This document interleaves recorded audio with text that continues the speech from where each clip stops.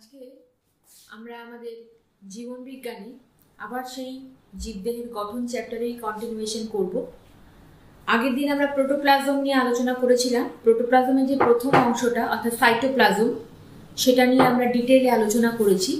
আজকে প্রোটোপ্লাজমের যে অপর অংশ, অর্থাৎ নিউক্লিয়াস সেটা নিয়ে আজকে আমরা আলোচনা করব। দেখো আমি বোর্ডে লিখে দিচ্ছি, আজকে আমাদের আলোচ্য বিষয় হচ্ছে নিউক্লিয়াস তা নিউক্লিয়াস ব্যাপারটা কাকে বলে? কীভাবে এর গঠনটা হয়, তাহলে এই সমস্ত কিছু নিয়ে আমরা আজকে আলোচনা করব। তাহলে আমরা আলোচনায় ঢুকে যাই। তাহলে সবার আগে বলতে হবে যে নিউক্লিয়াস জিনিসটা কি? কোন অংশটাকে আমরা কোষের কোন অংশটাকে আমরা নিউক্লিয়াস বলে মনে করি, ঠিক আছে? তাহলে একটা যদি কোষ আমরা চিন্তা করে নিই, তাহলে এই হচ্ছে একটা কোষ, আমি এখানে প্রাণী কোষ দিয়েই দেখাচ্ছি। তাহলে একটা যদি কোষ আমরা ধরে নিই, তাহলে কোষের মধ্যে যে গোলাকার, প্রায় গোলাকার একটা অংশ, ঠিক আছে? যেটা, এবং বেশ ঘন গোলাকার একটা অংশ, যেটা কোষের যাবতীয় জৈবনিক ক্রিয়া বিপাক ক্রিয়া এই সমস্ত কিছুকে নিয়ন্ত্রণ করে, তাকে আমরা বলছি নিউক্লিয়াস, ঠিক আছে? তাহলে কি বললাম? একটা কোষ, সেই কোষের মধ্যে যে ঘন, প্রায় গোলাকার একটি অংশ যেটা কোষের যাবতীয় বিপাক ক্রিয়া জৈবনিক ক্রিয়াকে নিয়ন্ত্রণ করছে, তাকে আমরা বলছি নিউক্লিয়াস তাহলে এই যদি একটা কোষ হয়, তাহলে কোষের মধ্যে এই যে গোলাকার অংশটা আমরা দেখতে পাচ্ছি, এটাকে আমরা বলে থাকি নিউক্লিয়াস। ঠিক আছে? তাহলে এই অংশটাকে আমরা বলছি নিউক্লিয়াস। তাহলে কোষের ভেতরে, অর্থাৎ যে প্রোটোপ্লাজম, সেই প্রোটোপ্লাজমের এই অংশটাকে আমরা কি বলেছিলাম? আগের দিনের আলোচনায় বলে দিয়েছিলাম। এটাকে আমরা বলেছি সাইটোপ্লাজম তাই তো? এটাকে আমরা বলেছিলাম সাইটোপ্লাজম আর এই অংশটাকে আমরা বলে দিয়েছিলাম কোষ পর্দা। এগুলো কিন্তু আমরা পূর্ববর্তী আলোচনাগুলোতে সেরে ফেলেছি। তাহলে এই যে সাইটোপ্লাজম এই সাইটোপ্লাজম এবং এই নিউক্লিয়াস এই দুটো মিলেই তৈরি হচ্ছে আমাদের প্রোটোপ্লাজম তাহলে এটাকে আমরা বলছি প্রোটোপ্লাজম ঠিক আছে? বেশ, তাহলে এর আগের দিন আমরা সাইটোপ্লাজম নিয়ে আলোচনা করেছি। আজকে আমাদের আলোচ্য বিষয় হচ্ছে এই নিউক্লিয়াস, ঠিক আছে? তাহলে নিউক্লিয়াস কাকে বলছে?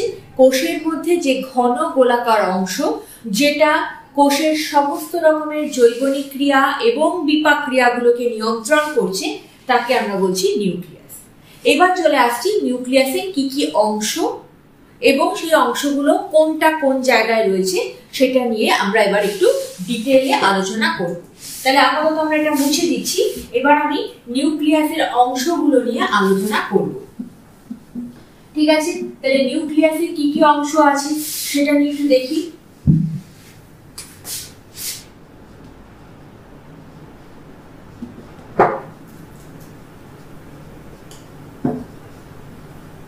নিউক্লিয়াসের অংশ। ঠিক আছে? নিউক্লিয়াসের মূলত চারটি অংশ আছে। নিউক্লিয়াসের মূলত চারটি অংশ আছে। এক নম্বর অংশের নাম হচ্ছে যে প্রথম যে অংশটা, তার নাম হচ্ছে নিউক্লিয় পর্দা হয়েছে? দু নম্বর অংশটার নাম হচ্ছে নিউক্লিয় রস বা এটাকে অনেক সময়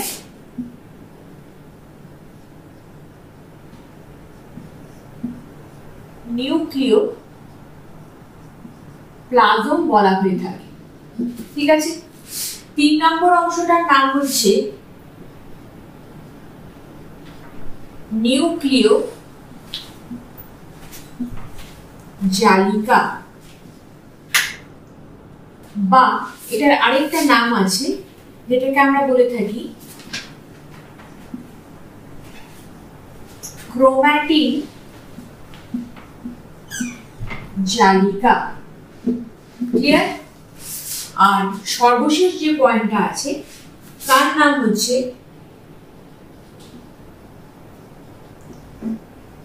নিউক্লিও লাফ তাহলে এই হলো আমার নিউক্লিয়াসের প্রধান যে চারটে অংশ, সেই চারটে অংশ। তাহলে তোমরা সবার আগে এটা একটা স্ক্রিনশট নিয়ে নাও, নিউক্লিয়াসের কি কি অংশ রয়েছে। নিউক্লিয়াসের মূলত চারটে অংশ রয়েছে।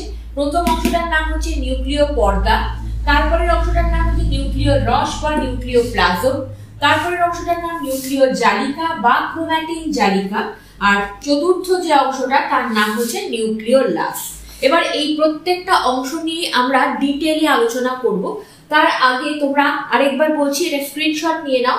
নিউক্লিয়াসের কটি অংশ কি কি? পরীক্ষায় প্রশ্ন আসে নিউক্লিয়াসের কটি অংশ কি কি? তাহলে নিউক্লিয়াসের অংশ হচ্ছে নিউক্লিয় পর্দা নিউক্লিয় রস বা নিউক্লিয় প্লাজম নিউক্লিয় জালিকা এবং লাস্ট হচ্ছে নিউক্লিয় লাস অনেকে একটা এর সাথে আরেকটা অংশ জুড়িয়ে দাও, যেটা নিউক্লিয় ছিদ্র। নিউক্লিয় ছিদ্রটা কিন্তু অ্যাকচুয়ালি নিউক্লিয় পর্দারই একটা অংশ। সেই জন্য সেটাকে আমরা আলাদা করে নিউক্লিয়াসের অংশের মধ্যে না ফেলে ওটাকে যখন নিউক্লিয় পর্দা নিয়ে আমরা আলোচনা করব, তার মধ্যে তখন নিউক্লিয় ছিদ্রের কথা উল্লেখ করে দেব।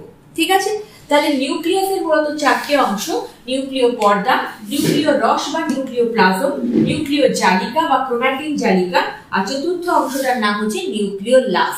ক্লিয়ার তাহলে এইটুকু হয়ে গেল আমাদের নিউক্লিয়াসের যে চারটে অংশ, সেই চারটে অংশ নিয়ে ডিটেল আলোচনা। ঠিক আছে? এবার আমি প্রত্যেকটা অংশ নিয়ে এবং একটা নিউক্লিয়াসের ছবি তোমাদেরকে এঁকে দেখাবো কোন অংশটাকে আমরা কি কি বলছি। ঠিক আছে? তাহলে এইটুকু আমি এবার মুছে দিচ্ছি। আশা করি তোমাদের প্রত্যেকের স্ক্রিনশট নেওয়া হয়ে গেছে।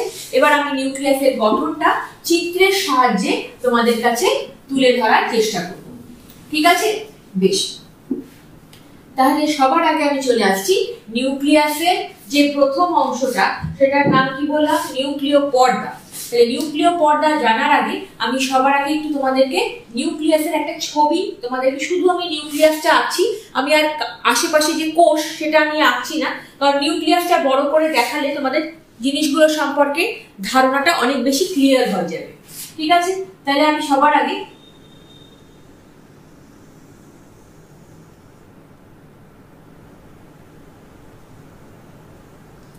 নিউক্লিয়াসের একটা ছবি আঁকার চেষ্টা করছি। মাঝে মাঝে এগুলোকে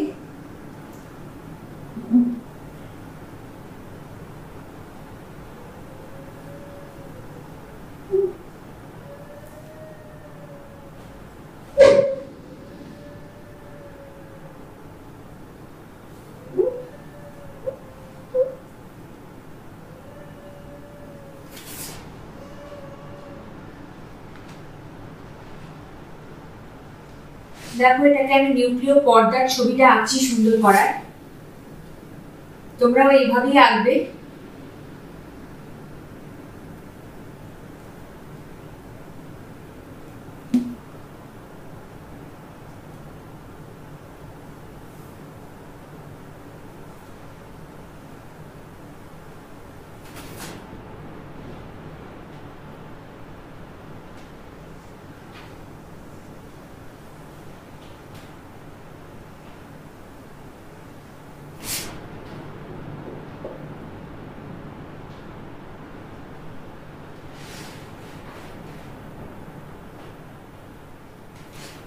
ঠিক আছে? একটা একটা করে অংশ আঁকছি এবং সেই অংশটা সম্পর্কে তোমাদের বর্ণনায় চলে যাচ্ছি। তাহলে একটা যখন নিউক্লিয়াস আঁকছি নিউক্লিয়াসের যে সবচেয়ে বাইরের যে আবরণটা থাকে, অর্থাৎ নিউক্লিয়াস যে আবরণটা দ্বারা আবৃত থাকে, তাকে বলা হয়ে থাকে নিউক্লিয় পর্দা। তোমরা ছবিতে পরিষ্কার দেখতে পাচ্ছ যে নিউক্লিয় পর্দার কিন্তু দুটো স্তর রয়েছে। একটা রয়েছে বাইরের দিকে স্তর, একটা রয়েছে ভেতরের দিকে স্তর। তাহলে বাইরের দিকে যে স্তরটা আছে, তাকে আমরা বলে থাকি বহির পর্দা আর ভেতরের দিকে যে স্তরটা আছে তাকে আমরা বলে থাকি অন্তঃপর্দা। তাহলে আমরা একটু পয়েন্টিং করে নিই। তাহলে নিউক্লিয়াসের যে বাইরের স্তরটা, তাকে আমরা বলছি কি? বহির পর্দা নিউক্লিয়াসের যে পর্দাটা আছে, অর্থাৎ নিউক্লিয় পর্দা যেটা আছে, সেটা দ্বিস্তরীয়, অর্থাৎ দুটো স্তর দিয়ে গঠিত। বাইরের স্তরটাকে বলা হয় থাকে বহির পর্দা আর ভেতরে যে স্তরটা রয়েছে, তাকে বলা হয়ে থাকে অন্তঃপর্দা। ঠিক আছে? আর এই দুটো পর্দা একসাথে মিলে তৈরি হচ্ছে তোমার নিউক্লিয় পর্দা। ঠিক আছে? তাহলে কি বললাম? নিউক্লিয়াসের বাইরের যে আবরণটা, তাকে আমরা বলে থাকি নিউক্লিয় পর্দা। এই নিউক্লিয় পর্দার দুটো স্তর, বাইরের দিয়ে আবরণটা বা বাইরের দিকে যে স্তরটা, তাকে বলা হয় বহির পর্দা আর ভেতরের দিকে যে স্তরটা, তাকে বলা হয়ে থাকে অন্তঃপর্দা। এবং এই বহিঃপর্দার অন্তঃপর্দার মাঝখানে যে যে গ্যাপটা রয়েছে, যে ফাঁকা জায়গাটা রয়েছে বহিঃপর্দা এবং অন্তঃপর্দার মাঝের যে ফাঁকা স্থান, তাকে আমরা বলে থাকি। একটা স্পেশাল নাম তাকে দেওয়া হয়। তার নামটা হচ্ছে peri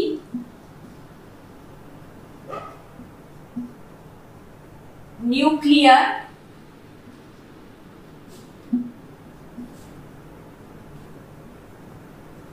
cisternae. Peri nuclear cisternae. তাহলে কি বললাম? দেখো আবার বলে দিচ্ছি, নিউক্লিয়াসের বাইরের যে আবরণটা, তাকে বলা হয় নিউক্লিয় পর্দা। নিউক্লিয় পর্দার দুটি স্তর, বাইরের স্তরটাকে বলা হয় বহিঃপর্দা, ভেতরের স্তরটাকে বলা হয়ে থাকে অন্তঃপর্দা। দুটি স্তরের মাঝে যে ফাঁকা জায়গা, তাকে বলা হয়ে থাকে পেরি নিউক্লিয়ার সিস্টারনি। ক্লিয়ার এবার দেখো, এই যে নিউক্লিয় পর্দাটা আমি এঁকেছি, সেই নিউক্লিয় পর্দাটা কিন্তু নিরবিচ্ছিন্ন নয়। মাঝে মাঝে দেখো, ফাঁকা আছে মানে মাঝে মাঝে জায়গাটা কিন্তু ছেদ করে গেছে। পুরো বিচ্ছিন্ন, মাঝে মাঝে একটু বিচ্ছিন্ন হয়ে গেছে। এই যে বিচ্ছিন্ন ফাঁকা জায়গা, এই জায়গাটাকে আমরা বলে থাকি নিউক্লিয় ছিদ্র একটু আগে আমি এটা নিয়ে আলোচনা করছিলাম। অনেকে কি করে? নিউক্লিয়াসের অংশের মধ্যে নিউক্লিয় ছিদ্রকে বলে দেয়। অ্যাকচুয়ালি নিউক্লিয় ছিদ্রটা কিন্তু নিউক্লিয় পর্দারই একটা অংশ। ঠিক আছে? তাহলে যখন আমরা নিউক্লিয় পর্দা বলছি, তার মধ্যে কিন্তু নিউক্লিয় ছিদ্রটা সেই অংশের মধ্যেই চলে যাচ্ছে। তাহলে আমি এখানে আরেকবার বলে দিচ্ছি, নিউক্লিয়াস দেখো, বলেছিলাম কোষের মধ্যে সবচেয়ে ঘন যে প্রায় গোলাকার, মোটামুটি একটা গোলাকার স্ট্রাকচার ঘন গোলাকার অংশ যেটা কোষের যাবতীয় জৈবনিক ক্রিয়া এবং বিপাক ক্রিয়া নিয়ন্ত্রণ করছে, তাকে আমরা মূলত বলছি নিউক্লিয়াস। এবং এই নিউক্লিয়াসের যে অংশগুলো আমরা পড়েছি, তার মধ্যে প্রথম অংশটার নাম হচ্ছে নিউক্লিয় পর্দা। তাই তো? প্রথম যে অংশটা, তার নাম হচ্ছে নিউক্লিয় পর্দা। এবং সেই নিউক্লিয় পর্দা নিয়ে যখন আমরা ডিটেলে আলোচনা করছি, তার মধ্যে কতগুলো অংশ আমরা দেখতে পাচ্ছি। নিউক্লিয় পর্দার দুটো স্তর রয়েছে। একটা বাইরের দিকে স্তর, একটা ভেতরের দিকে স্তর। বাইরের দিকে যে স্তরটা আছে, তার নাম হচ্ছে বহিঃপর্দা, আর ভেতরের দিকে যে স্তরটা আছে, তার নাম হচ্ছে অন্তঃপর্দা। আর দুটো পর্দার মাঝে যে ফাঁকা জায়গাটা, এই জায়গাটা, এইগুলোকে বলা হয়ে থাকে পেরি নিউক্লিয়ার সিস্টারনি। আর নিউক্লিয় পর্দা যেটা, সেটা একেবারে নিরবিচ্ছিন্ন নয়, মাঝে মাঝে এটা বিচ্ছিন্ন হয়ে আছে এবং দুটো কতগুলো ছিদ্রের সৃষ্টি করেছে। এই ছিদ্রগুলোকে আমরা বলছি নিউক্লিয় ছিদ্র। ক্লিয়ার তাহলে আমরা নিউক্লিয় পর্দা সম্পর্কে আমাদের ডিটেলে আলোচনা করে ফেললাম। এরপরে চলে আসছি নিউক্লিয়াসের ভেতরে যে তরল পদার্থটা থাকে। নিউক্লিয়াসের ভেতরে একটা তরল পদার্থ থাকে। সেই তরল পদার্থটাকে আমরা বলে থাকি নিউক্লিয় রস বা নিউক্লিয় প্লাজম বা ক্যারিওলিভ মানে অনেকগুলো নাম আছে। তাহলে কি বললাম? নিউক্লিয় রস বা নিউক্লিয় প্লাজম বা ক্যারিওলিভ তাহলে এই যে ভেতরের এই যে জায়গাটা, এই জায়গাটার মধ্যে যে তরল পদার্থটা থাকে, তার নাম হচ্ছে নিউক্লিয় প্লাজম আপাতত আমি এখানে একটা নামই দিলাম। তোমাদের যে আমি নোটটা দিয়ে দেব, সেই নোটের মধ্যে তিনটে নামই উল্লেখ করা রয়েছে। ঠিক আছে? এই ভিডিওর শেষে যে ডেসক্রিপশন থাকবে, সেখানে তুমি এই নিউক্লিয়াসের যাবতীয় নোট পেয়ে যাবে। সেই নোটসের মধ্যে কিন্তু এই নিউক্লিয় প্লাজমকে আমরা আর কি কি নামে ডেকে থাকি বা আর কি কি নামে নিউক্লিয় প্লাজমটা পরিচিত, সেই নামগুলোর উল্লেখ করে দেবো। সেখানে কি কি বলা হয়েছে? এই যে নিউক্লিয়াসের ভেতরে নিউক্লিয় পর্দা ঘেরা যে তরল পদার্থটা থাকে, তার নাম হচ্ছে নিউক্লিয় প্লাজম বা কি বললাম? নিউক্লিয় রস বা ক্যারিওলিভ নামটা এখানে লিখে দিয়েছি জায়গায় থাকে। নাম হচ্ছে ক্যারিও লিভ। ঠিক আছে? তাহলে কি বললাম? প্লাজম বা রস বা ক্যারিওলিভ তাহলে এটা হচ্ছে আমার নিউক্লিয়, নিউক্লিয়াসের দ্বিতীয় অংশ। তাহলে প্রথম অংশটার নাম আমি পড়েছি নিউক্লিয় পর্দা দ্বিতীয় অংশটার নাম হচ্ছে নিউক্লিয় প্লাজম হলো, এবার এই যে নিউক্লিয় প্লাজম এই নিউক্লিওপ্লাজমের মধ্যে অসংখ্য সরু সুতোর মতন জট পাকানো একটা বিশেষ অংশ দেখতে পাওয়া যায়।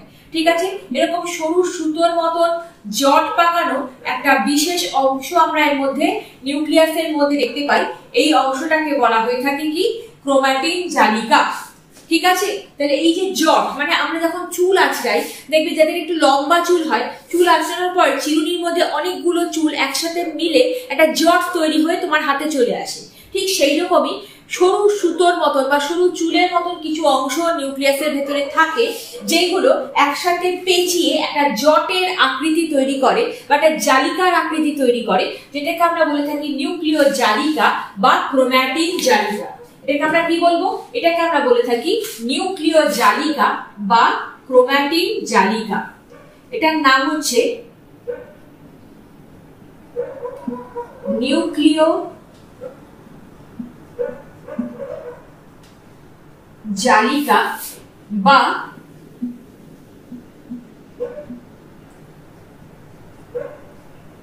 ক্রোম্যাটিন জালিকা। এটা হচ্ছে নিউক্লিয়াসের তিন নম্বর অংশ। আমরা যখন নিউক্লিয়াসের অংশগুলোর সম্পর্কে তোমাদেরকে এর আগে বোর্ডে লিখে দিয়েছিলাম, তাহলে সেখানে তিন নম্বর অংশটার নাম হচ্ছে নিউক্লিয় জালিকা বা ক্রোম্যাটিন জালিকা। তাহলে প্রথম অংশের নাম নিউক্লিয় পর্দা, সেটা নিয়ে আলোচনা করা হয়ে গেছে। দ্বিতীয় অংশের নাম হচ্ছে নিউক্লিয় প্লাজম, যেটা নিয়েও আমরা আলোচনা করে ফেলেছি। এবার যে তৃতীয় অংশটা, তার নাম হচ্ছে নিউক্লিয় জালিকা বা ক্রোম্যাটিন জালিকা। নিউক্লিয় জালিকা বা ক্রোম্যাটিন জালিকাটা কি? নিউক্লিয় জালিকা বা ক্রোম্যাটিন জালিকা হচ্ছে আমাদের নিউক্লিয়াসের মধ্যে নিউক্লিয় প্লাজমের ওপরে ভাসমান অবস্থায় বেশ কিছু সরু সুতোর মতন জট পাকানো অংশ দেখতে পাওয়া যায়, যারা একসাথে মিলে একটা জালিকার আকার তৈরি করে, জালের মতন সমস্ত নিউক্লিয়াসটার মধ্যে ছড়িয়ে থাকে। এটাকেই আমরা বলে থাকি নিউক্লিয় জালিকা বা ক্রোমাটিন জালিকা। এবার যদি আমরা এই জটগুলোকে খুলতে পারি, যেমন আমরা যখন চুল আসাই সেখান থেকে চুলের জট অনেক সময় চুল ছিঁড়ে, চার পাঁচটা চুল বা একসঙ্গে দশ বারোটা চুল মিলে চুলের একটা জট তৈরি হয়ে যায়। এবার খুব সাবধানে যদি সেই জটগুলোকে আমরা খুলতে পারি, তাহলে আমরা কি দেখব? সেখান থেকে দেখব সরু সরু এক একটা চুল আলাদা করা যাবে, তাই তো? ঠিক একইভাবে এই ক্রোম্যাটিন জালিকা বা নিউক্লিয় জালিকা যখন জটটা খুলে যায়, তখন সেখান থেকেও সরু সরু সুতোর মতন কতগুলো অংশ মানে প্রত্যেকটা জট খুলে গেলে সেখান থেকে আমরা দেখতে পাবো কি? সরু সরু সুতোর মতন কতগুলো অংশ এরকম আলাদা আলাদা হয়ে যাচ্ছে। মানে এইগুলো যখন জট পাকিয়ে থাকে, তখন সেগুলোর নাম হচ্ছে নিউক্লিয় জালিকা বা ক্রোম্যাটিন জালিকা। যখন জটগুলো খুলে যাচ্ছে, তখন এরকম কতগুলো সরু সুতোর মতন অংশ দেখতে পাওয়া যায়। এই সরু সুতোর মতন অংশগুলোকে আমরা বলে থাকি ক্রোমোজোম। কি বলে থাকি এগুলোকে? এই যে সরু সুতোর মতন অংশ, অর্থাৎ ক্রোম্যাটিন জালিকা যখন জটটা খুলে যাচ্ছে, তখন যে সরু সুতোর মতন অংশ তৈরি হচ্ছে, সেই সরু সুতোর মতন অংশ আমি একটা ছবি এঁকে দেখাচ্ছি ক্রোম্যাটিন জালিকা। ধরো এটা হচ্ছে তোমার জট পাকিয়ে এরকম ভাবে থাকছে। ঠিক আছে? এবং ওটা যখন খুলে যাচ্ছে, তখন কি হচ্ছে? এরকম সরু সুতোর মতন কতগুলো অংশই আলাদা আলাদা হয়ে যাচ্ছে। এবার এই যে সরু সুতোর মতন অংশগুলো এগুলোকে আমরা কি বলে থাকি? এগুলোকে আমরা বলে থাকি ক্রোমোজোম। তাহলে ক্রোমাটিন জালিকাটা অ্যাকচুয়ালি কি? ক্রোমাটিন জালিকাটা হলো আসলে কতগুলো? ক্রোমোজোমের জট, তাই তো? ক্রোমাটিন জালিকা বলতে অ্যাকচুয়ালি আমরা বোঝাই কতগুলো? ক্রোমোজোমের জট। অর্থাৎ ক্রোমাটিন জালিকাটা যদি খুলে যায়, তাহলে সেখান থেকে আমরা কি পাবো? এক একটা ক্রোমোজোম পাবো। ক্লিয়ার বুঝতে পেরেছ কি বললাম? ক্রোমাটিন জালিকাটা খুলে গেলে সেখান থেকে আমরা যে এক একটা পাবো সরু সুন্দর মতন অংশ, সেগুলোকে আমরা বলে থাকি ক্রোমোজোম। আর সেই ক্রোমোজোমের ভেতরে কি থাকে? ক্রোমোজোমের ভেতরে থাকে দ্বিতন্ত্রী ডিএনএ। দ্বিতন্ত্রী দুটো তন্ত্র থাকে, তাই এর নাম হচ্ছে দ্বিতন্ত্র। অনেকটা আমরা যে মই দেখেছ, মই ল্যাডার যেটাকে বলে, সেই মইয়ের মতন কিন্তু ওটা প্যাঁচানো থাকে। মইটা যেমন সোজা স্ট্রেট ওঠে, ওটা একটু প্যাঁচানো, এরকম সিঁড়ি মানে আমরা যদি অনেক সময় অনেকের বাড়িতে দেখবে, এরকম প্যাঁচানো সিঁড়ি থাকে, গোল প্যাঁচানো সিঁড়ি থাকে। অনেকটা সেই রকম দেখতে ডিএনএ থাকে, যেটার পুরো নাম হচ্ছে deoxyribonucleic acid DNA D for deoxyribonucleic মানে এন আর অ্যাসিড মানে এ ডিএনএ বা ডিঅক্সি রাইবো নিউক্লিক অ্যাসিড সেটা হচ্ছে ডিএনএ। এই ডিএনএ থাকে কোথায়? ক্রোমোজোমের ভেতরে। আর সেই ডিএনএ এর ভেতরে আরও একটা ছোট্ট বিশেষ প্রোটিন দ্বারা গঠিত অংশ থাকে, যেটাকে আমরা বলে থাকি জিন বর্গের রসিন জিন। এবং এই জিন হচ্ছে এমন একটা অংশ যেটা আমাদের বংশগত বৈশিষ্ট্যগুলোকে মাতা পিতা থেকে সন্তানদের মধ্যে সঞ্চারিত করে। সেই কারণে জিনকে আমরা বংশগত বৈশিষ্ট্যের ধারক ও বাহক বলে থাকি। তাহলে আরেকবার আমি একটু রিপিট করে দিচ্ছি, দেখো। তাহলে আমরা এখানে দেখলাম ক্রোমাটিন জালিকা বা নিউক্লিয় জালিকা, যেটা নিউক্লিয়াসের দ্বিতীয় অংশ। এটা আমরা জেনে ফেলেছি। এবার যেটা আমরা জানব, সেটা হচ্ছে যে এই যে নিউক্লিয়াসের দ্বিতীয় অংশ ক্রোমাটিন জালিকা, এটা অ্যাকচুয়ালি কি? সেই জটটা যদি আমরা খুলি, সেখান থেকে আমরা কি পাবো? সেখান থেকে আমরা পাবো ক্রোমোজোম তাহলে নিউক্লিয়াসের মধ্যে থাকছে নিউক্লিয় জালিকা বা ক্রোমাটিন জালিকা। সেই ক্রোমাটিন জালিকাকে যদি আমরা জটটা খুলে ফেলি, তাহলে সেখান থেকে আমরা পাবো ক্রোমোজোম। আর সেই ক্রোমোজোমের ভেতরে থাকে কে? ক্রোমোজোমের ভেতরে থাকে ডিএনএ, যেটার পুরো নাম হচ্ছে ডিঅক্সি রাইবো নিউক্লিক অ্যাসিড। আর সেই ডিএনএ এর মধ্যে কে থাকছে? ডিএনএ এর মধ্যে থাকছে জিন। ঠিক আছে? ডিএনএ এর মধ্যে থাকছে জিন যেই জিন বংশগত বৈশিষ্ট্যগুলোকে মাতা পিতা থেকে সন্তান সন্ততির মধ্যে বংশ পরম্পরায় সঞ্চারিত করে। সেই কারণে জিনকে কি বলা হয়ে থাকে? বংশগত বৈশিষ্ট্যের ধারক ও বাহক। বংশগত বৈশিষ্ট্যের ধারক এবং বাহক। তাহলে বোঝা গেল, তাহলে আমাদের তৃতীয় যে অংশটা নিউক্লিয়াসের যে তৃতীয় অংশ, যার নাম ক্রোম্যাটিন জালিকা বা নিউক্লিয় জালিকা, খুব ইম্পর্টেন্ট অংশ। সেই ক্রোম্যাটিন জালিকাটা হচ্ছে অ্যাকচুয়ালি বেশ কয়েকটা ক্রোমোজোমের জট। এবং অর্থাৎ জটগুলোকে খুলে ফেললে আমরা সেখান থেকে এক একটা করে ক্রোমোজোম পাবো। আর সেই ক্রোমোজোমের মধ্যে কি থাকে? ক্রোমোজোমের মধ্যে থাকে দ্বিতন্ত্রী ডিএনএ বা ডিঅক্সি রাইবো নিউক্লিক অ্যাসিড। আর সেই ডিএনএ এর ভেতরে কে আছে? ডিএনএ এর ভেতরে থাকে জিন এবং সেই জিনগুলোই বংশগত বৈশিষ্ট্যগুলোকে মাতা পিতা থেকে পরবর্তী প্রজন্মে অর্থাৎ সন্তান সন্ততিদের মধ্যে সঞ্চারিত করতে সাহায্য করে। সেই কারণে জিনকে আমরা বংশগত বৈশিষ্ট্যের ধারক এবং বাহক বলে থাকি। ক্লিয়ার তাহলে এইটুকু আশা করি তোমরা বুঝতে পেরেছ।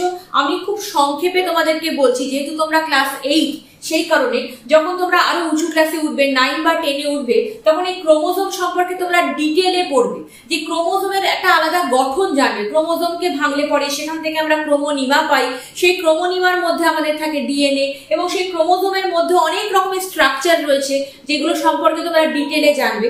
এখন আমি অত ভেতরের আলোচনায় যাচ্ছি না, কারণ তোমরা ক্লাস এইট তোমাদের জন্য যতটুকু প্রয়োজন, আমি সেইটুকুই আজকে আলোচনা করছি।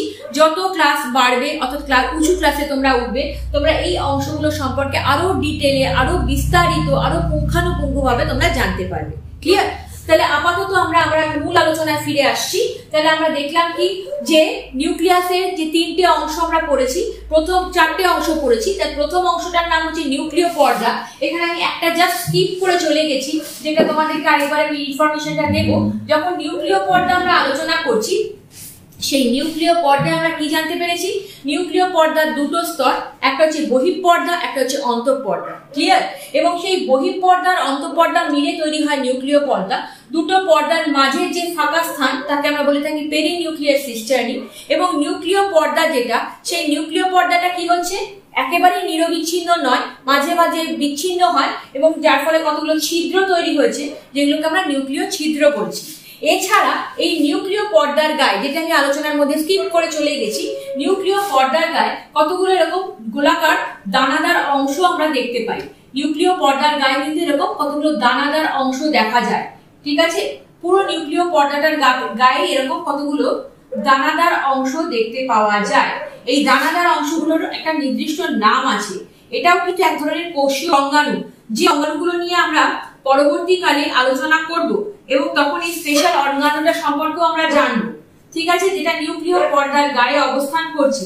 এছাড়াও সাইটোপ্লাজমের মধ্যেও এটা থাকে, কিন্তু নিউক্লিয় পর্দার গায়েও এই অঙ্গাণুটা দেখতে পাওয়া যাচ্ছে। এবার এই অঙ্গাণুটার নামটা আমরা জেনে ফেলি।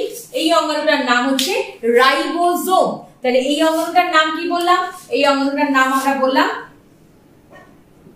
এই অঙ্গাণুটার নাম আমরা বলছি, আমি এখানে নীল দিয়ে পয়েন্টিং যখন করছি, নীল দিয়ে করি। এই অঙ্গাণুটার নাম হচ্ছে রাইবোজোম। ঠিক আছে? তাহলে কি বললাম? তাহলে নিউক্লিয় পর্দা, যেটা দুটো স্তর রয়েছে, একটা হচ্ছে বহিঃপর্দা একটা অন্তঃপর্দা দুটো পর্দার মাঝের স্থান কোষকে বলা হয় পেরিনিউক্লিয়াস সিস্টানি এবং নিউক্লিয় পর্দার মাঝে মাঝে কতগুলো ছিদ্র আমরা দেখতে পাই? যেগুলোকে আমরা নিউক্লিয় ছিদ্র বলছি। এবং নিউক্লিয় পর্দার গায়ে কতগুলো বিশেষ দানাদার অংশ আমরা দেখতে পাচ্ছি? এই অংশগুলোর নাম হচ্ছে রাইবোজোম। এটা এক ধরনের কোষীয় অঙ্গাণু। পরবর্তীকালে যখন আমরা বিভিন্ন কোষীয় অঙ্গাণু সম্পর্কে আলোচনা করব, তখন রাইবোজোম নিয়েও আলোচনা আলাদা করে করব। ঠিক আছে? নেক্সট যেটা আমরা জানলাম নিউক্লিয় পর্দার ভেতরে যে তরল পদার্থটা থাকে, তার নাম হচ্ছে নিউক্লিয় প্লাজম আমি এটা একটু অন্য কালি দিয়ে আইডেন্টিফাই করি, তাহলে তোমরা নিউক্লিয়াসের অংশগুলো সম্পর্কে জানতে পারবে। প্রথম অংশটার নাম করেছিলাম নিউক্লিয় পর্দা, দ্বিতীয় অংশটার নাম আমরা বলছি নিউক্লিয় প্লাজম বা ক্যারিওলিম্ফ। ঠিক আছে? নিউক্লিয় পর্দা ঘেরা নিউক্লিয়াসের মধ্যে যে তরল পদার্থ থাকে, তাকে বলা হয় থাকে নিউক্লিয় প্লাজম বা ক্যারিওলিম্ফ। তৃতীয় যে অংশটা নিয়ে আমরা আলোচনা করলাম, সেটা হচ্ছে নিউক্লিয় জালিকা বা ক্রোম্যাটিন জালিকা। নিউক্লিয় জালিকা বা ক্রোম্যাটিন জালিকা। ঠিক আছে? এবং এই নিউক্লিয় জালিকা বা ক্রোম্যাটিন জালিকাতে কি দেখলাম? এটা একটা সরু সুতোর মতন জট পাকানো অংশ, যেটা নিউক্লিয় প্লাজমের মধ্যে ভাসমান অবস্থায় লক্ষ্য করা যায়। এবার এই যে নিউক্লিয় প্লাজমের মধ্যে যে ক্রোম্যাটিন জালিকাটা থাকে, এটা জট পাকিয়ে থাকে। যদি জটগুলো আমরা খুলি, তাহলে ক্রোমোজোম পেয়ে যাব। অর্থাৎ নিউক্লিয় জালিকার জট খুললে সেখান থেকে অ্যাকচুয়ালি আমরা কি কি পাবো? কতগুলো সরু সুতোর মতন অংশ পাবো, যেগুলো হচ্ছে ক্রোমোজোম। তাহলে এক কথা আমরা বলতে পারি ক্রোমোজোম গুলোই জট পাকিয়ে ক্রোমাটিন জালিকা তৈরি করে, তাই তো? তাহলে এবার ওই ক্রোমোজোমের মধ্যে থাকে দ্বিতন্ত্রী ডিএনএ বা ডিঅক্সি রাইবোনিউক্লিক অ্যাসিড। আর ডিএনএ এর মধ্যে থাকে হচ্ছে জিন, যেটা বংশগত বৈশিষ্ট্যগুলোকে মাতা পিতা থেকে সন্তান সন্ততির মধ্যে সঞ্চারিত করে। সেই কারণে জিনকে আমরা বংশগত বৈশিষ্ট্যের ধারক এবং বাহক বলে থাকি। ক্লিয়ার তাহলে এবার আমরা লাস্ট যে পয়েন্টটা আছে, অর্থাৎ নিউক্লিয়াসের সর্বশেষ যে অংশটা, তার নাম হচ্ছে নিউক্লিওলাস তার নামটা কি? তার নাম হচ্ছে নিউক্লিওলাস অর্থাৎ নিউক্লিয়াসের মধ্যে যে সবচেয়ে ঘন গোলাকার একটা অংশ আমরা দেখতে পাই, যেটাকে আমরা বলে থাকি নিউক্লিওলাস এবং এই নিউক্লিওলাসের একটা বিশেষ কাজ হচ্ছে এটা এই যে রাইবোজোমের ছবি আঁকলাম আমরা, এই রাইবোজোমের উৎপত্তি স্থল হচ্ছে আমাদের এই নিউক্লিওলাস, অর্থাৎ রাইবোজোম কিন্তু এই নিউক্লিওলাস থেকে উৎপত্তি লাভ করে। এবং উৎপত্তি লাভ করে কিছু নিউক্লিয় পর্দার গায়ে অবস্থান করে, কিছু সাইটোপ্লাজমের মধ্যে অবস্থান করে, কিছু আরও অন্যান্য অঙ্গাণুর গায়ে অবস্থান করছে। তাহলে দেখো, নিউক্লিয়াসের মধ্যে যে ঘন গোলাকার অংশটা আমরা দেখতে পাচ্ছি, ঘন গোলাকার অংশ যেখান থেকে রাইবোজোম উৎপত্তি লাভ করে, তার নাম হচ্ছে, তার নামটা হচ্ছে নিউক্লিওলাস।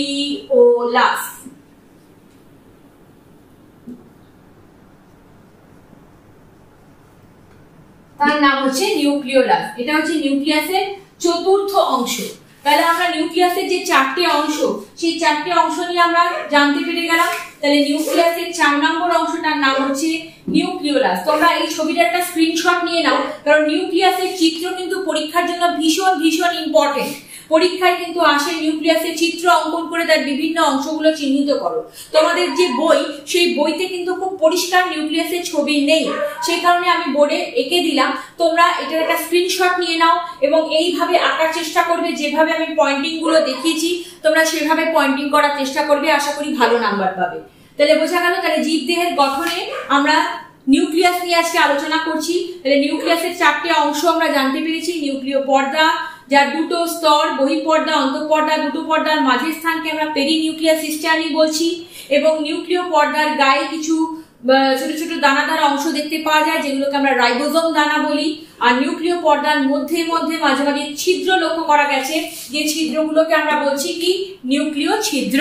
ক্লিয়ার তাহলে তোমরা স্ক্রিনশট নিয়ে নাও।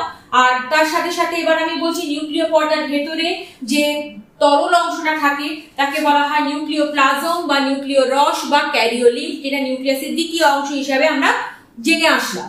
আর নিউক্লিয় প্লাজমের মধ্যে কতগুলো সরু সুতোর মতন অংশ জট পাকানো অবস্থায় একদম ছড়িয়ে ছিটিয়ে থাকে এবং যার ফলে একটা জালিকার মতন আকার তারা তৈরি করে, যেটাকে আমরা নিউক্লিয় জালিকা বা ক্রোম্যাটিন জালিকা বলি। এই ক্রোম্যাটিন জালিকা অ্যাকচুয়ালি কতগুলো ক্রোমোজোমের জট পাকানো অংশ এবং অর্থাৎ ক্রোম্যাটিন জালিকার জটগুলো খুললে আমরা যেগুলো পাবো সেটাকে বলা হচ্ছে ক্রোমোজোম। আর ক্রোমোজোমের মধ্যে থাকে দ্বিতল থ্রি ডিএনএ বা ডিঅক্সি রাইবোনিউক্লিক অ্যাসিড। আর ডিএনএ এর মধ্যে থাকে জিন, যেটা বংশগত বৈশিষ্ট্যের ধারক এবং বাহক। ক্লিয়ার বেশ, অর্থাৎ এটা কি করছে? মাতা পিতা থেকে সন্তান সন্ততির মধ্যে বংশগত বৈশিষ্ট্যগুলোকে ক্যারি ফরওয়ার্ড করছে। নেক্সট যেটা লাস্ট পয়েন্ট নিউক্লিয়াসের সেটা হচ্ছে নিউক্লিওলাস নিউক্লিয়াসের মধ্যে সবচেয়ে ঘন গোলাকার অংশ, যেটা রাইবোজোম সৃষ্টি স্থল উৎসস্থল বলতে পারো, সেটাকে বলা হয়ে থাকে নিউক্লিওলাস। ক্লিয়ার তাহলে এই হয়ে গেল আমাদের নিউক্লিয়াসের গঠন। সচিত্র বর্ণনা, নিউক্লিয়াসের গঠনের সচিত্র বর্ণনা। ক্লিয়ার এবার আমি চলে আসছি নিউক্লিয়াসের কাজ নিয়ে একটু বলি। নিউক্লিয়াসের প্রথম কাজ হচ্ছে আমি প্রথমেই বলেছি, নিউক্লিয়াস হচ্ছে কোষের এমন একটা অংশ যেখানে কোষের যাবতীয় জৈবনিক এবং বিপাক ক্রিয়া সম্পন্ন হয়ে থাকে। সেই কারণে নিউক্লিয়াসকে কোষের মস্তিষ্ক অথবা হেড অব দ্য সেল বলা হয়ে থাকে। ঠিক আছে? তাহলে কি বললাম? নিউক্লিয়াসের মধ্যে কোষের যাবতীয় জৈবনিক এবং বিপাক ক্রিয়া সম্পন্ন হয়। সেই কারণে নিউক্লিয়াসকে কোষের মস্তিষ্ক বা হেড অব দ্য সেল বলা হয়ে থাকে। ক্লিয়ার বুঝতে পেরেছ?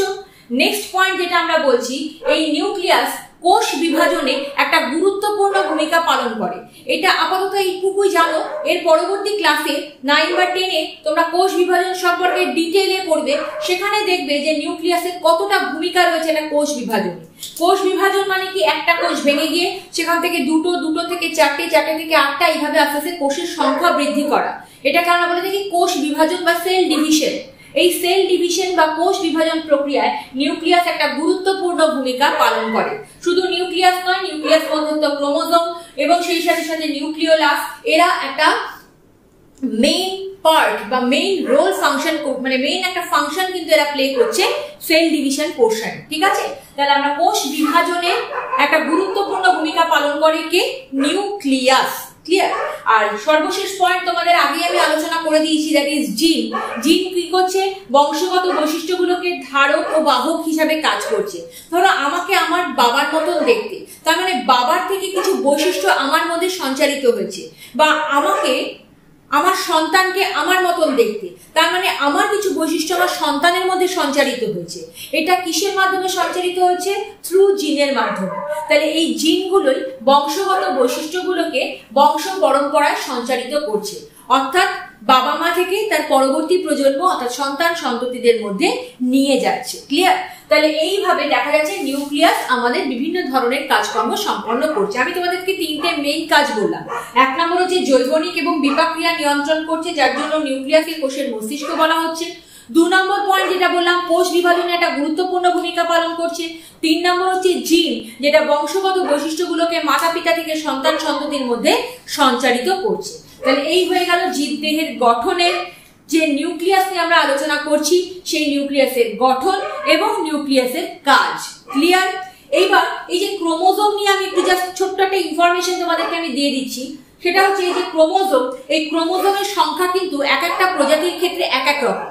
অর্থাৎ আমরা মানুষ, মানবের, মানুষের প্রত্যেকটা দেহ কোষে এই ক্রোমোজোম সংখ্যা কিন্তু নির্দিষ্ট। তুমি পৃথিবীর যেমন সমস্ত জায়গায় যাও, সব জায়গায় মানুষের দেহ কোষে ক্রোমোজোম সংখ্যা নির্দিষ্ট।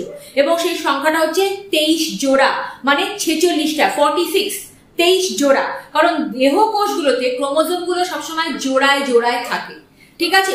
জোড়ায় জোড়ায় মানে একটা ক্রোমোজোম, তার সাথে এই একটা ক্রোমোজোম, তার সাথে একটা ক্রোমোজোম, আবার একটা ক্রোমোজোম একটা ক্রোমোজোম। এরকম সবসময় দেহ কোষগুলোতে ক্রোমোজোমগুলো সবসময় জোড়ায় জোড়ায় অবস্থান করে। তাই দেহ কোষে ক্রোমোজোম সংখ্যা সবসময় জোড়ায় থাকে। অর্থাৎ মানুষের ক্ষেত্রে এই ক্রোমোজোম সংখ্যাটা হচ্ছে দেহ কোষে তেইশ জোড়া বা ছেচল্লিশটা। কিন্তু যদি মানুষের জনন কোষ দেখো, যেটা শুক্রাণু, যেখান থেকে শুক্রাণু বা ডিম্বাণু তৈরি হয়, অর্থাৎ আমাদের ছেলেদের ক্ষেত্রে শুক্রাশয়, মেয়েদের ক্ষেত্রে ডিম্বাশয়, সেই শুক্রাশয়, ডিম্বাশয়ের ভিতরে আমাদের জনন কোষ থাকে। সেই জনন কোষে কিন্তু ক্রোমোজোম সংখ্যা জোড়ায় থাকে না। সেখানে ক্রোমোজোম সংখ্যা তেইশটা only twenty three only twenty three দেহ কোষে থাকে তেইশ জোড়া মানে ফর্টি সিক্সটা যেখানে জনন কোষে থাকে তেইশটা। খুব ইম্পর্টেন্ট খুব কনফিউজিং কোয়েশ্চেন ভালো করে খেয়াল করবে, তোমাকে দেহকোষ বলেছে না জনন কোষ বলেছে। সেই হিসাবে অ্যান্সারটা হবে। যদি দেহকোষ বলে, তাহলে সেক্ষেত্রে ক্রোমোজোম নাম্বার হচ্ছে টোয়েন্টি থ্রি পেয়ার অর্থাৎ ফর্টি সিক্স মানে তেইশ জোড়া বা ছেচল্লিশটা। আর জনন কোষের ক্ষেত্রে সেই সংখ্যাটা অনলি টোয়েন্টি থ্রি মানে তেইশটা। ক্লিয়ার এই ব্যাপারটা কিন্তু একটু ভালো করে খেয়াল করে অ্যান্সার দেওয়ার চেষ্টা করবে। অর্থাৎ মানব দেহকোষ যদি বলে, তাহলে ক্রোমোজোম সংখ্যা ছেচল্লিশটা বা তেইশ জোড়া। আর মানব দেহের জননকোষ যদি বলে, তাহলে সেক্ষেত্রে ক্রোমোজোম সংখ্যা অনলি টোয়েন্টি থ্রি কারণ জননকোষে ক্রোমোজোম জোড়ায় জোড়ায় থাকে না। ঠিক আছে? তাহলে বোঝা গেল। তাহলে আমরা ক্রোমোজোম সম্পর্কে ডিটেল আলোচনা করলাম আর একটু আরও ডিটেল মানে ডিটেলে কিছুই আলোচনা করিনি, খুব সংক্ষেপে তোমাদেরকে জানালাম। উঁচু ক্লাসগুলোতে তোমরা ডিটেলে পড়বে। এখানে জাস্ট কতগুলো ইম্পর্টেন্ট তথ্য তোমাদের সঙ্গে আমি শেয়ার করলাম। যে ক্রোমাটিন জালিকা হচ্ছে কতগুলো ক্রোমোজোমের জট পাকানো অংশ। সেই ক্রোমোজোমের ভেতরে থাকে ডিএনএ বা ডিঅক্সিরাইবোনিউক্লিক অ্যাসিড ডিএনএ এর মধ্যে থাকে জিন আর এই ক্রোমোজোম সংখ্যা এক একটি প্রজাতির ক্ষেত্রে নির্দিষ্ট। যেমন আমরা মানুষ, পৃথিবীর যে কোনো জায়গায় যে কোনো মানুষের শরীরের দেহকোষে তুমি তেইশ জোড়া ক্রোমোজোমই পাবে। সেটা কখনো বাইশ জোড়া বা চব্বিশ জোড়া। মানুষ মানেই তার ক্রোমোজোম সংখ্যা তেইশ জোড়া। বোঝা গেল দেহকোষে। বেশ, এবার আমি চলে আসছি। এই যে নিউক্লিয়াসের গঠন, তাহলে এটা তোমরা আশা করি স্ক্রিনশট তোমরা প্রত্যেকে নিয়ে নিয়েছো। তাহলে আমি এবার এটা একটু কিন্তু মুছে দেব। কারণ আমি মুছে দিয়ে পরের আলোচনাটায় চলে যাব। আশা করি এইটুকু তোমাদের সবার। স্ক্রিনশট নেওয়া হয়ে গেছে। নিউক্লিয়াসের গঠনের চিত্র কিন্তু খুব ভালো করে প্র্যাকটিস করবে। কারণ নিউক্লিয়াসের গঠনটা কিন্তু ভীষণ ইম্পর্টেন্ট এবং সেই সাথে সাথে তার ছবি। পরীক্ষায় কিন্তু ভীষণ আসে একটা নিউক্লিয়াসের চিত্র অঙ্কন করে তার বিভিন্ন অংশ চিহ্নিত করো। ঠিক আছে? আর তার সাথে সাথে তার গঠন বর্ণনা করো। এটা কিন্তু ভীষণ ভীষণ ইম্পর্টেন্ট ওকে নেক্সট আমি চলে আসছি। এই যে নিউক্লিয়াসের গঠন, এই নিউক্লিয়াসের গঠন কিন্তু সমস্ত উদ্ভিদ বা প্রাণীদের ক্ষেত্রে সমান নয়। যারা একটু নিম্ন শ্রেণির উদ্ভিদ বা প্রাণী আছে, তাদের ক্ষেত্রে নিউক্লিয়াসটা অতটা সুগঠিত নয়। আবার যারা উচ্চ শ্রেণির প্রাণী, অর্থাৎ আদর্শ উদ্ভিদ বা প্রাণী বলে যাদেরকে আমরা বিবেচনা করে থাকি, তাদের ক্ষেত্রে কিন্তু নিউক্লিয়াসটা একেবারে সুগঠিত। আমরা এতক্ষণ যে নিউক্লিয়াসটা নিয়ে আলোচনা করেছি, সেটা কিন্তু একটা আদর্শ উদ্ভিদ কোষ বা একটা আদর্শ প্রাণী কোষে যে একটা প্রকৃত নিউক্লিয়াস বলতে যা বোঝায়, সেটা নিয়ে কিন্তু আমরা এতক্ষণ আলোচনা করলাম। কিন্তু সমস্ত প্রাণীদের ক্ষেত্রে, বিশেষত নিম্ন শ্রেণির উদ্ভিদ বা প্রাণীদের ক্ষেত্রে কিন্তু এরকম আদর্শ নিউক্লিয়াসের গঠন লক্ষ্য করা যায় না। তাহলে সেই হিসাবে নিউক্লিয়াসের গঠনের বিচারে আমরা কোষকে কিন্তু দুটো ভাগে ভাগ করি। একটা হচ্ছে আদি নিউক্লিয়াস যুক্ত কোষ বা প্রোক্যারিওটিক কোষ আর একটা হচ্ছে আদর্শ নিউক্লিয়াস যুক্ত কোষ বা ইউক্যারিওটিক কোষ। তাহলে পয়েন্টটা আমি লিখি, কি বললাম? নিউক্লিয়াসের গঠন অনুসারে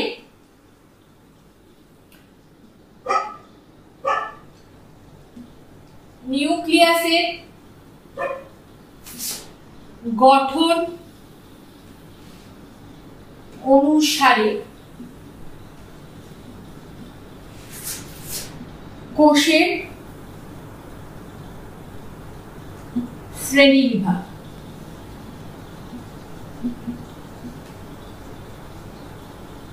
ঠিক আছে?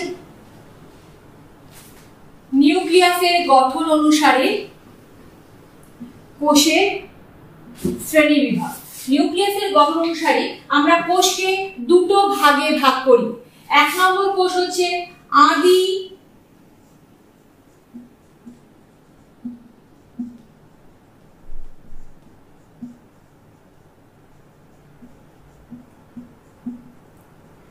নিউক্লিয়াস যুক্ত কোষ বা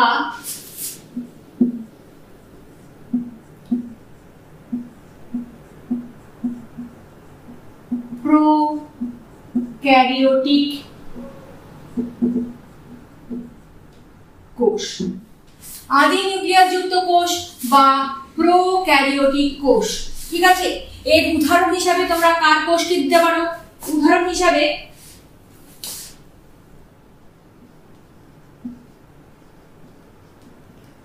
উদাহরণ হিসাবে আমরা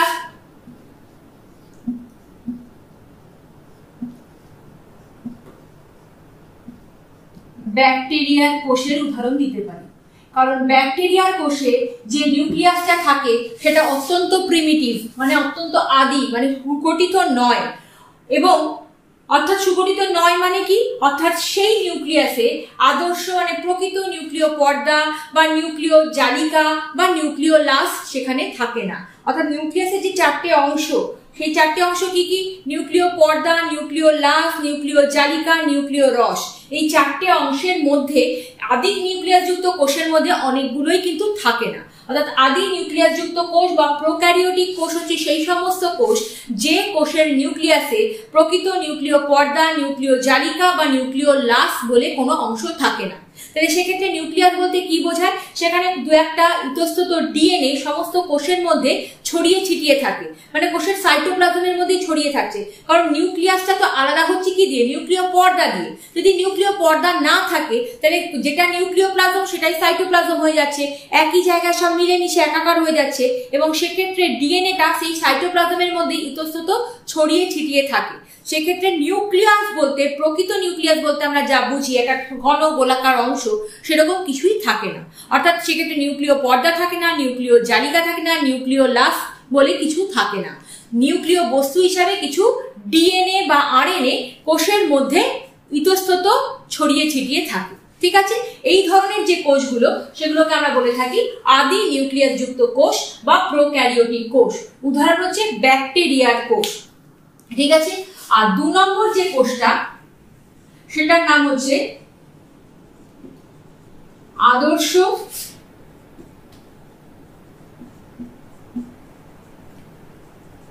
নিউক্লিয়াস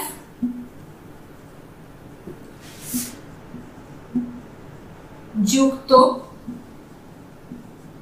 কোষ বা ইউ ক্যারিওটিক কোষ। ঠিক আছে? দু নম্বর যে কোষটা, সেটা হচ্ছে আদর্শ নিউক্লিয়াস যুক্ত কোষ বা ইউক্যারিওটিক কোষ। এর উদাহরণ হিসাবে তুমি কি বলতে পারো? এর উদাহরণ হিসাবে আমরা বলতে পারি আদর্শ উদ্ভিদ কোষ বা